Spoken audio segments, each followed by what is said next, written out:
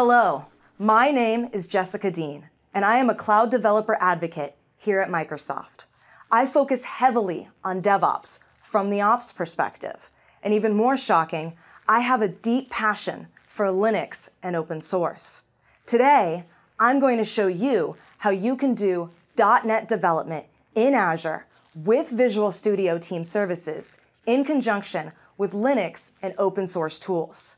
Now, with my background of Linux system administration and deep engagement in local open source communities, I had to go learn VSTS. What I was surprised to discover is how easy it is to configure your build and release stages for your .NET web application in your CI/CD pipeline using VSTS. For today's demo, we are going to use a .NET Core web application and deploy it into a Linux-based Azure Container instance. We are also going to do this from my Mac. Before we get started, I want to highlight a few things about Azure Container Instances, or ACI for short. Some key benefits of using ACI versus, say, Azure Container Service, or ACS, are you can get started quickly and you can scale containers on demand. What this means is there are significant startup benefits over virtual machines. With Azure Container Instances, you can start a container in Azure in seconds with one single command without the need to provision and manage a virtual machine as you do with Azure Container Service. That means there's no need to go out and learn new container orchestration tools. So you don't need to know how to manage a Kubernetes or Docker Swarm cluster. And with ACI, you can easily deploy images right from Docker Hub or Azure Container Registry. Let's go check it out. Okay, so I have already pre-created a project to show you in this demo. We are currently looking at my project in my VSTS collection. The name of my project is .NET ACI LX for .NET Azure Container Instance Linux. So I've already created a build definition. Let's jump in here and see how this is configured. So here we are taking a look at our build definition. We see that under tasks, it's broken up into process, get sources, and a phase. So if we take a look at process, we see the name of the process, and it's our .NET ACI LX Docker CI. We also see agent queue. Since we're building a .NET Core application that we're going to publish into Azure Container Instance, we are going to use the hosted Linux preview agent, meaning we're going to build this on a hosted Linux machine. Next, we're going to select Get Sources, and I have already imported the sources I need for this particular project into a Git repository from within VSTS. Next, I'm going to start to define tasks for the phase of my build.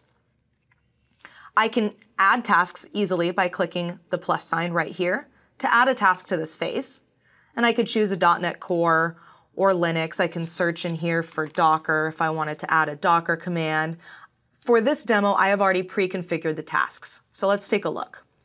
First, I've defined an npm task to install Bower. It works exactly as you think it would. npm install, and arguments I'm specifying is Bower and allow root.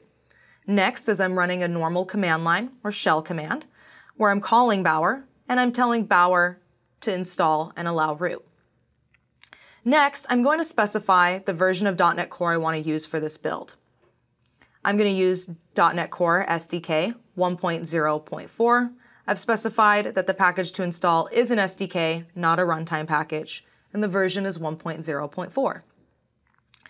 Next few commands I'm going to do are .NET commands. So I'm going to do a .NET restore, and I'm going to specify my solution file, and I'm going to also attach some arguments of no cache.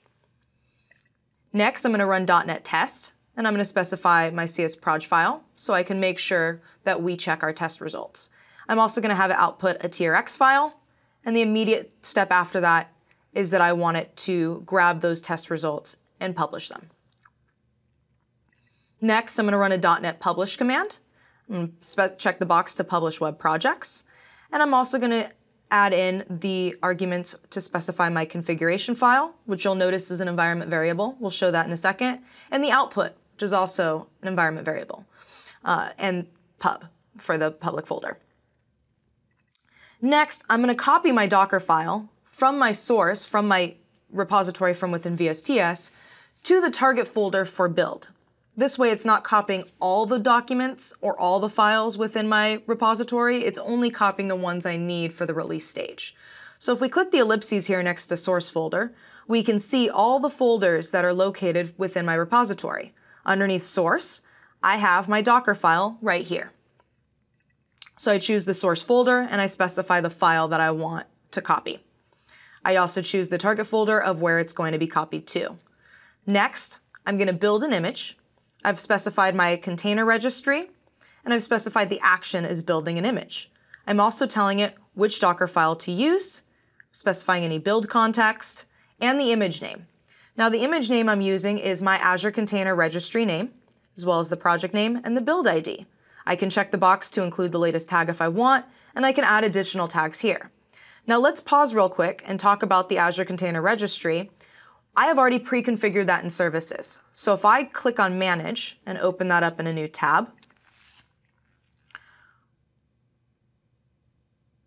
we can actually see the services that are that I've already added in. One I've added in a Docker registry. And if I click Update Service Configuration, I can see that the Docker registry is actually my Azure Container Registry. I also see the Docker ID and I've already entered in my password.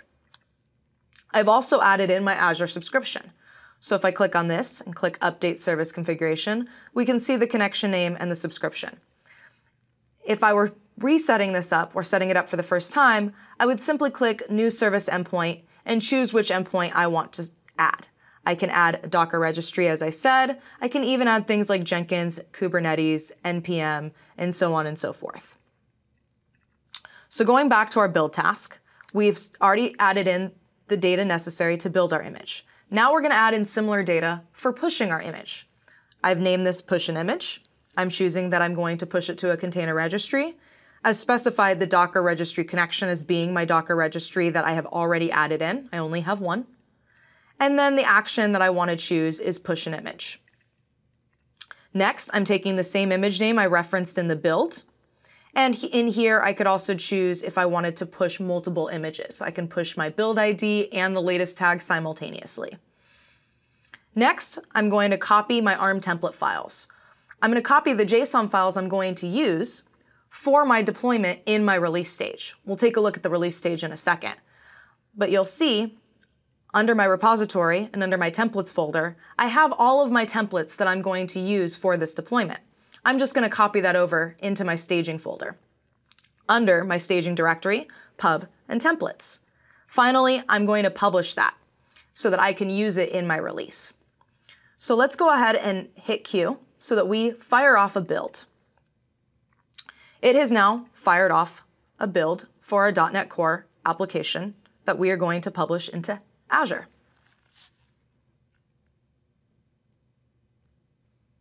So we see here it's actually going to initialize our hosted Linux agent, and it's preparing the build. It's already downloaded the tasks, it's gotten our sources files, and now it's installing Bower.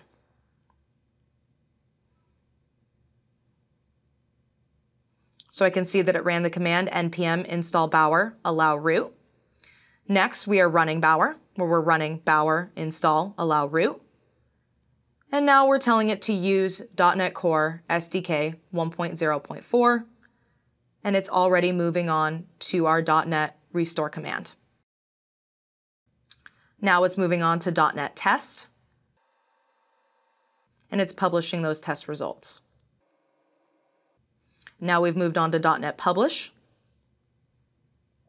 and we're already in the build phase for our Docker image. It's now pushing that image to our Azure Container Registry. It's copying the ARM templates we're going to use for deployment, and it's completed our build. Great. So now that means it's already set it up to go to release. Let's take a look. We see release 4, it has started. While it goes off and does the deployment, let's take a look and see what it's doing. There aren't as many tasks for the release stage. So first off, in my pipeline, I've defined that the artifacts it's going to use for the release are to come from my continuous integration build. So if I click this, I can actually see the project, the build definition that it's going to pull from, and it's going to grab the latest version.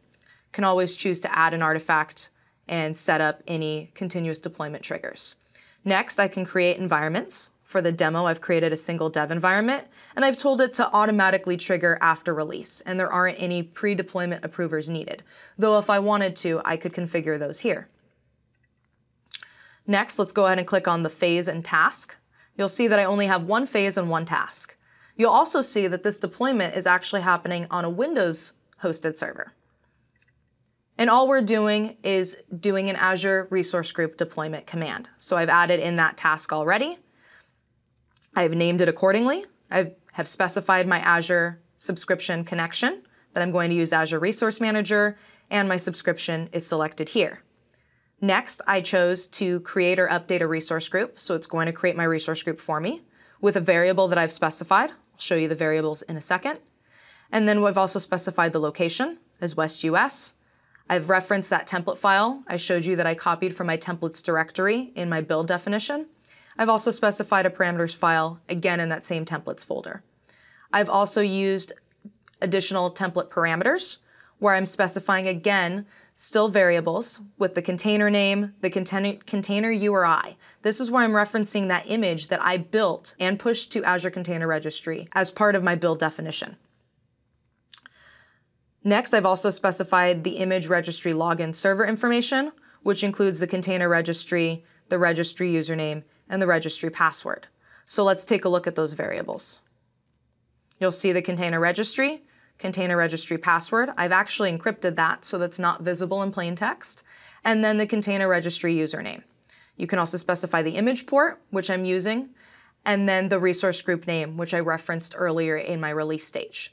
If I wanted to add a new variable, I would simply hit add, name it, type in the value here. If it needs to be encrypted, I would hit the lock, and then I would hit save. We don't need any other variables, and we do already have a release running. Let's go check it out. So I can see the release is running. If I double click on it, I can actually see general information and details about the release. I can also hit logs to watch as it releases. So I see that it actually just completed, but I can see that it ran on the agent. It initialized the job, it initialized their agent. It downloaded the artifacts, meaning it downloaded the files that we need to use for this deployment.